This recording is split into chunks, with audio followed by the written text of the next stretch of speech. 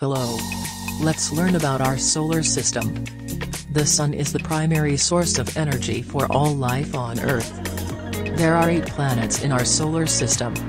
Mercury, Venus, Earth, Mars, Jupiter, Saturn, Uranus, and Neptune.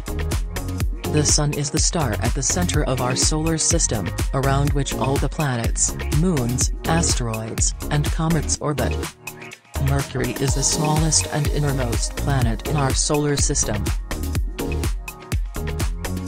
Venus is the second planet from the Sun and the closest planet to Earth. Venus is often referred to as Earth's sister planet due to its similar size, composition, and proximity.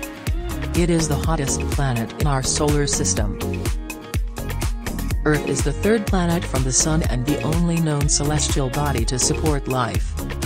Earth is the only known planet to support life, thanks to its moderate temperatures, liquid water, and diverse ecosystems. Mars is the fourth planet from the Sun in our solar system and is often referred to as the red planet. The planet's surface is covered in iron-rich dust and rocks, giving it a reddish appearance. Mars is one of the most promising places in the solar system to search for signs of past or present life. Jupiter is the largest planet in our solar system. Jupiter is a gas giant composed primarily of hydrogen and helium, Saturn is the sixth planet from the Sun and the second largest planet in our solar system, known for its distinctive ring system.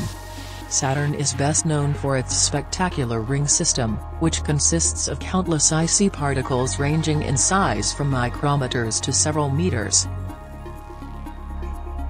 Uranus is the seventh planet from the Sun and the third largest planet in our solar system. Uranus is classified as an ice giant.